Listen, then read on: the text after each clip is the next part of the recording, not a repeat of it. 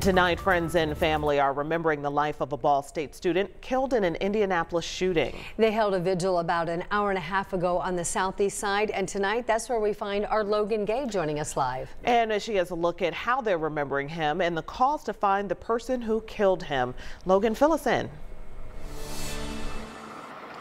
Yeah, that vigil is actually still going on, and it started at 5 p.m. You can see a large group of people gathered behind me. You can see that this is the large, the large group of people. You can see how loved Julius is, and his family and friends organized this event not only to honor him, but to also bring awareness that no one has been arrested for his murder, and they feel like there's been very little movement in this case.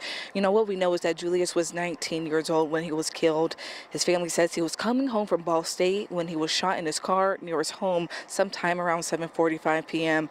His parents say he was a wonderful student and a son and loved by so many people. He also loved sports and planned to pursue a career in medicine. Now, coming up tonight at 11 I'll more from his parents but they're begging anyone with any information to come forward they are hoping to get justice they say getting justice and an arrest will give them closure and some peace back to you all right logan gay reporting thank you so much and an